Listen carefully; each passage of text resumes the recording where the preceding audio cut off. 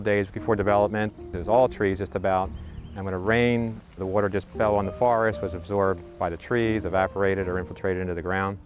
And then as there was more and more development, that same rain was falling on pavement and rooftops and streets and it started to run off going very rapidly into creeks and streams and causing a lot of damage. So as we did developments, we really needed to manage our stormwater. So one of the ways to do that in a typical you know, subdivision, suburban subdivision, was to build a stormwater basin. A detention basin is primarily used to manage stormwater for flood control. Essentially, it acts like a bathtub. So the additional runoff that's generated from impervious surfaces enters the basin. The basin fills up like a bathtub and then slowly drains out over time. And that is how the rate of the stormwater is managed. Detention basins are a problem because they really don't do anything to manage the volume of runoff. It really just captures that volume for a short period of time and then it allows that tremendous additional volume to discharge into stream systems with very little pollutant management.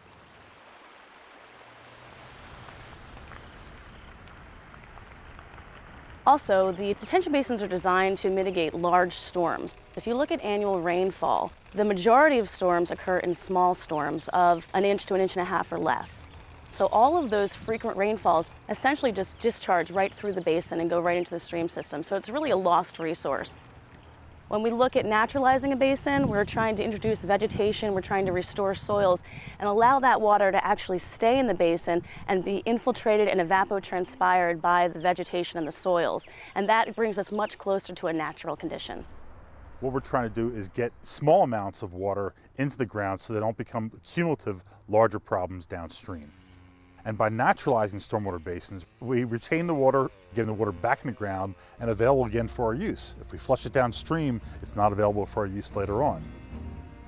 And increasingly we're having water quantity problems because we're flushing the groundwater out of the system.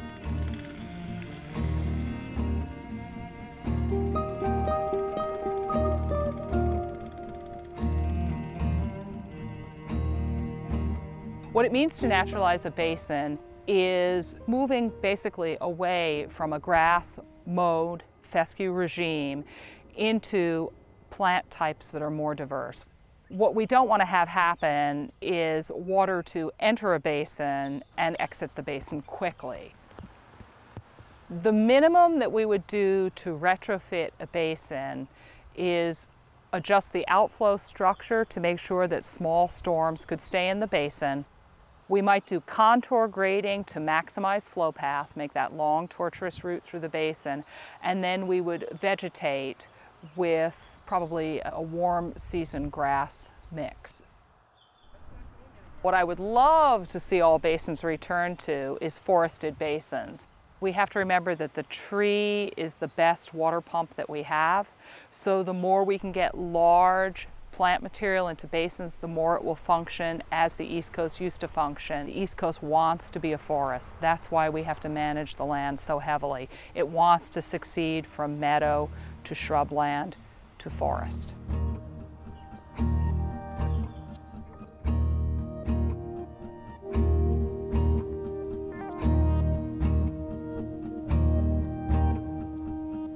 Stormwater basins, there's hundreds of them out there. They're scattered all around the watershed. A lot of them are in the headwater area. So the opportunity is there to better manage stormwater. So it's not like you have to go out and acquire land. And there's fairly straightforward modifications that can help improve that basin. The townships are obligated to manage the stormwater and a basin retrofit would be one tool that they could use.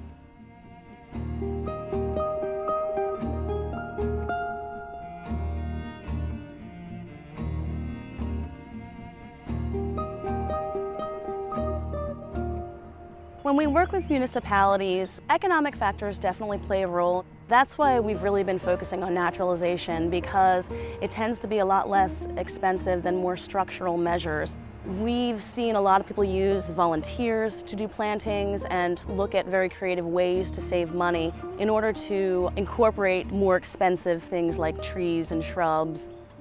But there are also things that you can do very simply at a very low cost, such as just seeding the basin with a meadow mixture, or just stop mowing the basin and allow vegetation that's surrounding the basin to establish within the basin. So there, there are a whole bunch of things, you know, volunteering, Yeah. and we didn't do anything except they stopped mowing.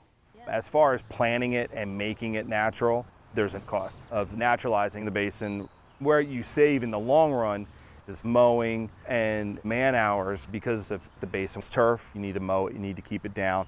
If I have to run mowers over top of it throughout the year, it's going to slowly compact. Then we have to come back and aerate it to make sure it's still open and absorbing water. By naturalizing it, I don't have to compact the basin, which leaves it loose, lets the water infiltrate easier into the ground. Now we don't have to touch it. We can maintain, keep the invasives out of it, let the native plants grow. You're definitely going to save tenfold throughout the years instead of maintaining and mowing. Townships are finding that people like the look of these naturalized basins, that they attract wildlife, they attract pollinators like butterflies and different kinds of birds, which uh, people always find very attractive.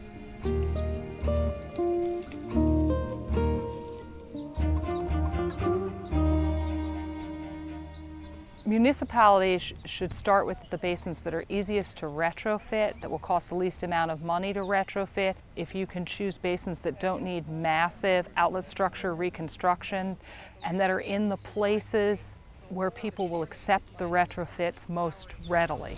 We try to plant woody material in clumps.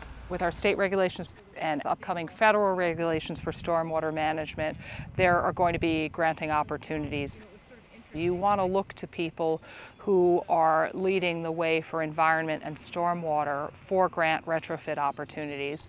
The other place to look is concerned citizen groups, everything from Trout Unlimited to local watershed groups, because they're the people who understand the environment, they understand water quality, and they want to be at the forefront of changes.